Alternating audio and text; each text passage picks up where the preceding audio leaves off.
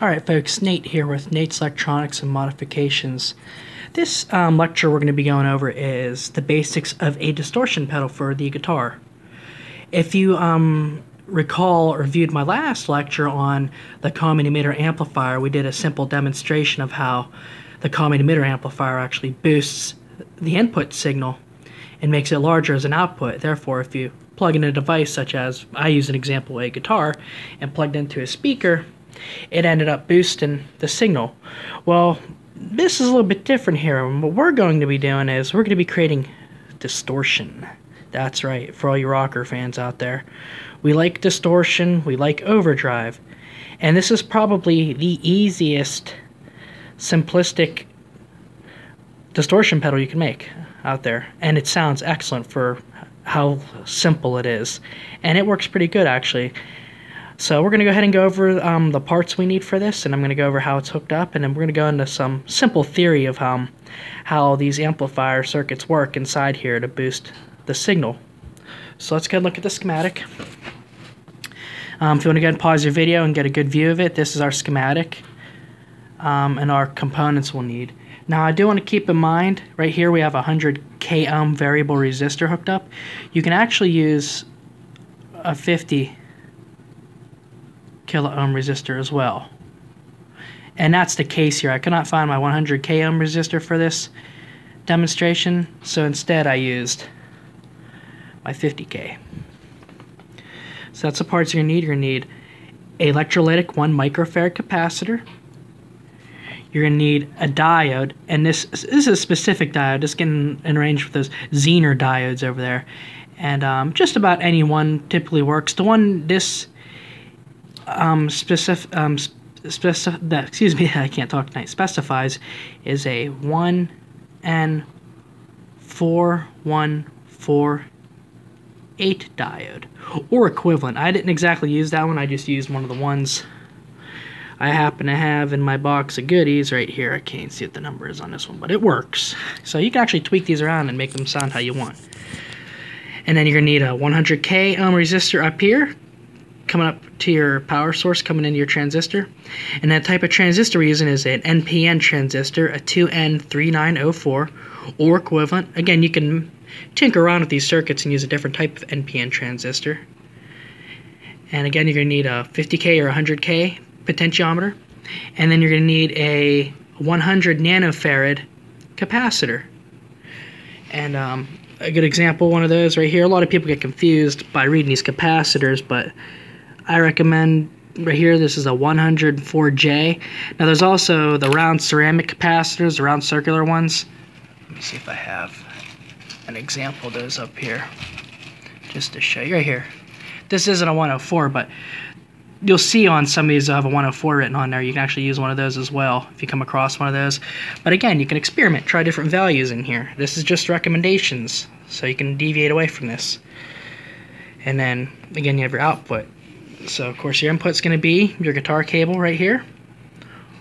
So let's go ahead and look over the actual circuit itself and follow along here to see what's going on. And we'll compare it to this one so we're not confused.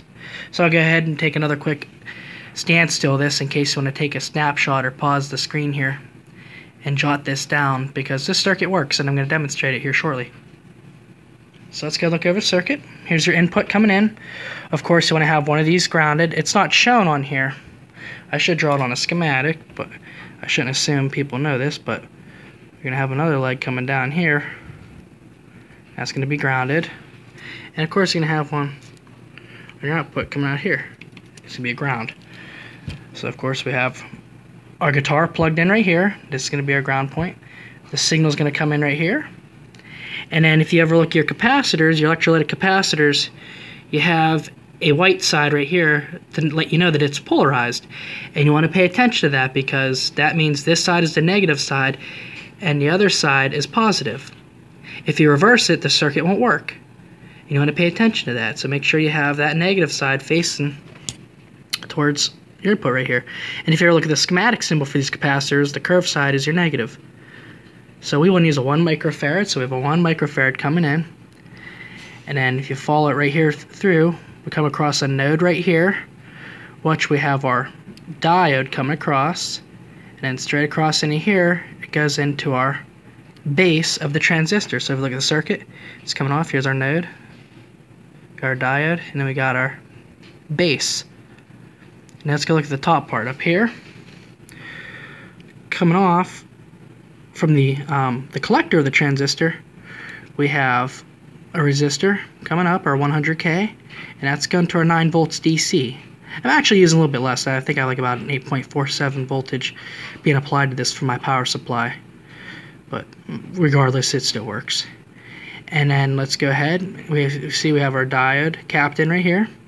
And then coming across, we hit that regular 100 nanofarad capacitor, which is right here. And if you come out in this leg, keep following it, it's going to come in to our potentiometer. And then the middle leg right here, this is the portion where you vary. When you turn the knob, when you turn this, that's going to change your resistance value. And of course, it's going to affect your output. And this comes out, and boom, that goes in your amplifier. And then here's your ground. So this is a simple design of this circuit. Again, this is probably the easiest one you could do for a distortion pedal, and it works great. And you can get more um, fancy with these. You can add an LED so you know it's on. You can get a double pull, double throw switch, so when you engage the switch, it bypasses all the distortion circuitry here and just goes straight through your cable and bypass the pedal, so you can have a, you know, not engage the pedal and push the button and engage it, just like a regular pedal. So let's go ahead and look at some basic theory on how um, these transistors work inside these pedals. I got some examples here what's going on. Now, again, this is just theory, so things do change. So what we're going to look here is how to determine your gain being used inside the circuit. And again, raw, a lot of us rockers and guitarists out there, we like gain. We like lots of it. Some of us don't, you know, but, you know, I like gain. but again, I like to back off on it and get a good clean signal. But So this is our formula for the gain in this circuit. Right now, what we know is we know our resistance of our collector, which is R1, and we know the resistance of the emitter. And this is the portion that's going to change. And I'm going to show you what happens is as we change this resistance, our gain is going to change on our output. So this is going to show how our sine, our wave is going to be affected on our output, which is going to cause distortion. And you're going to see when we adjust this um, in our demonstration, it's going to change. So let's go ahead and use a simple formula here. If you take 100 kiloohms, which we have, and if you have this set for 100 kiloohms, you have a gain of 1. So that means when you strum your typical guitar, your single coil pickups, um, they usually vary between 100 millivolts to about 1 volt. But in this case, we're going to go ahead and just use 1 millivolt. So if you strum that guitar and you're generating 100 millivolts, by the induction pr principles, properties of your pickups, your output is going to produce 100 millivolts. So if we go ahead and determine our output gain, this is the formula for that. You take your V out over your voltage in over the resistance of your collector and the resistance of the emitter. And this is going to come down to some basic algebra concepts. I'm not going to go ahead and get into depth with these. If um, you're not too confident with math, I recommend watching um, some math lecture videos and then come back to this, but this is pretty simple. You're basically just going to cross multiply. Right now we don't know our voltage of our output. So we're going to cross multiply that, boom, down to our 100K, and then we're going to cross multiply 100 millivolts and 100 kiloohms right here, solve this all out, and your output's going to be 100 millivolts.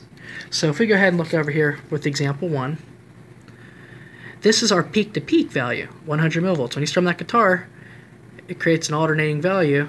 It's going to go up 100 millivolts, down to negative 100 millivolts, and up, and so on. So our output is going to be the same, because again, nothing's being changed. But let's go to example 2. Let's say we change that value from 100 kiloohms on a potentiometer down to 50 kiloohms, our gain is going to be changed to 2. So when you multiply this out, same way, we want to find our voltage output. It ends up becoming 200 millivolts. So again, if we look at a graph over here of example 2, here's our input again, 100 millivolts peak to peak. But then we come out to our output, we got 200 millivolts peak to peak. So of course, it goes up higher and down lower creates a bigger waveform. And then finally, let's go up to example 3. Let's say we want to just dime this thing out a little bit more and get 10 kilo ohms. Increase that gain to 10.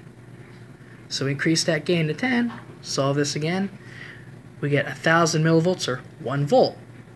But if you look at the graph, you have a small signal coming in from your guitar, and then your output from the pedal is going to get bigger. And what happens is when these signals start to get bigger, they eventually start to distort.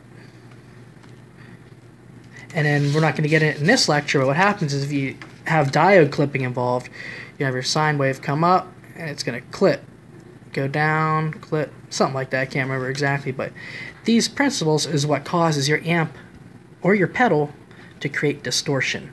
Back in the day, of course, you use valve your tubes in your amplifier. The louder you get it, the more they saturate, the more overdrive you get. Of course, that's how Hendrix got his tone, and Eric Clapton back in the day. But, you know, nowadays we can't blow people's ears out playing in a little nightclub, so they've invented distortion pedals.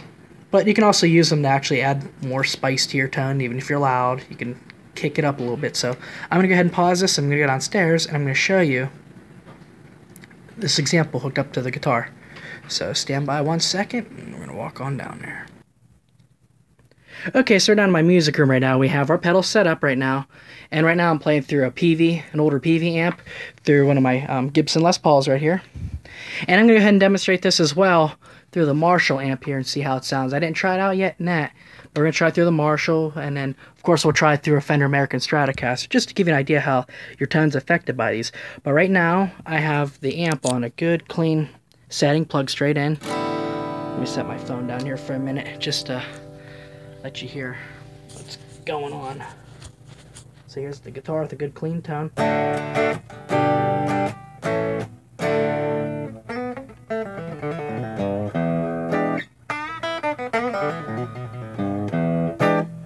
So now, I'm going to go ahead and pause again here and hook up the pedal, and then we're going to hear how that sounds. Alright, so now we got the pedal hooked up our input right here, this is coming from straight out of my guitar, plugged right into the input, and the output is ran straight into the amplifier. So I'm going to set my phone down here, and I'm going to strum around with this and let you hear the tones of this thing. And it sounds pretty good. So right now I have the volume on full on the guitar, and here we go.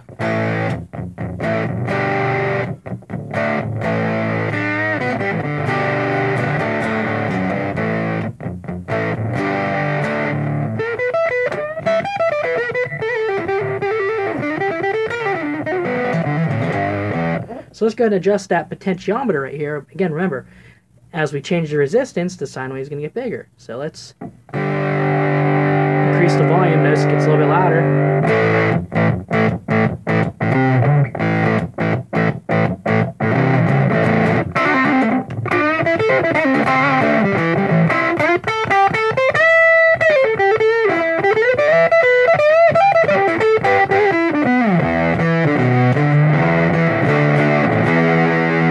Let's go ahead and decrease the volume. This gets quieter.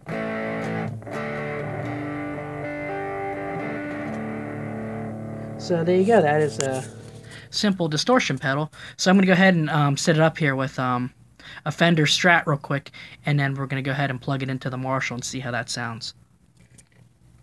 Okay, so right now I got um, the Fender American Stratocaster with some vintage 62, 63 pickups in this, and um, right now we're going to show you the clean signal. Um, as you can see, this actually boosts it so much that um, I have the volume pretty far down on the amp, so you don't really, you better hear it on the amp.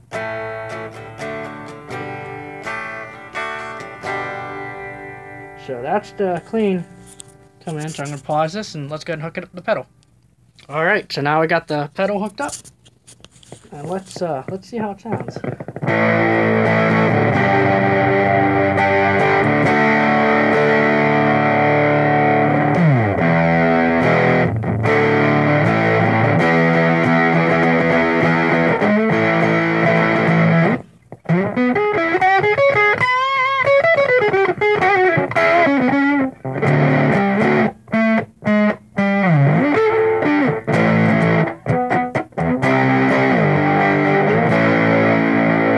sounds pretty good with the Fender Strat. I mean, it kind of has like a Big Muff tone to it.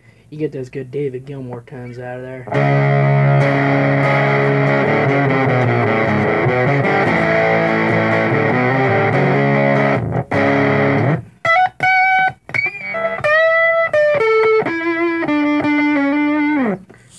Oops, sorry, camera fell.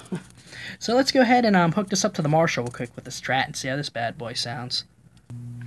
Alright, so right now I'm plugged straight into the Marshall amplifier from the Strat, so let's go ahead and um, play this. Oops, I have a bad cable, I need to get a better one. So let's try it. This is a clean signal. So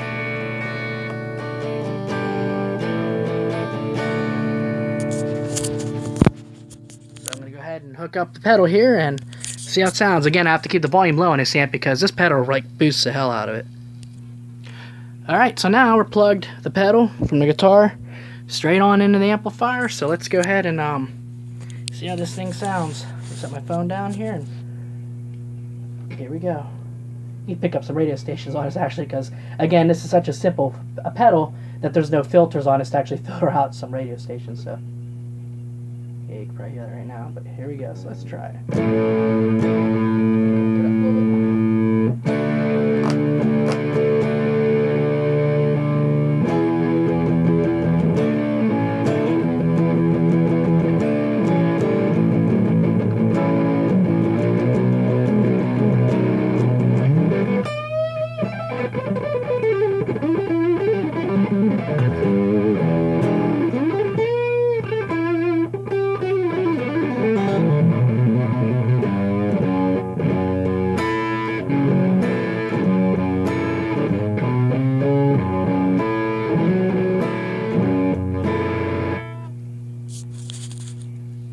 So you can see this pedal is actually um, not too bad for just a transistor, capacitor, two capacitors, and diode, potentiometer.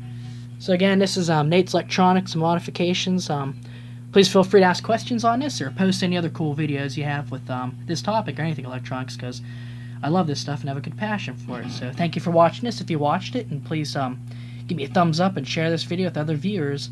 And uh, if you have any suggestions or um, any cool information you want to share, please post it down below. So this is all for lecture purposes and, you know, learning about this stuff. Because, you know, I'm sure somebody out there wants to know how these things work.